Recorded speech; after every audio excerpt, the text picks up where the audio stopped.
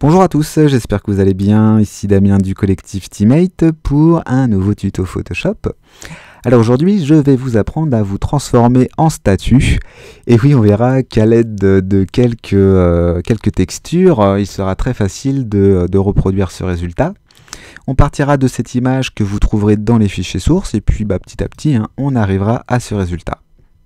Nous apprendrons plein de petites astuces, euh, à savoir comment bien gérer les masques, comment euh, bah, donner cet effet de, pierre euh, grâce à certains calques de réglage. On verra aussi comment booster un visuel avec caméra RAW, comment apporter un peu plus de peps à l'image, changer légèrement la teinte d'une image, apporter un peu plus de détails, un peu plus de contraste, etc., etc.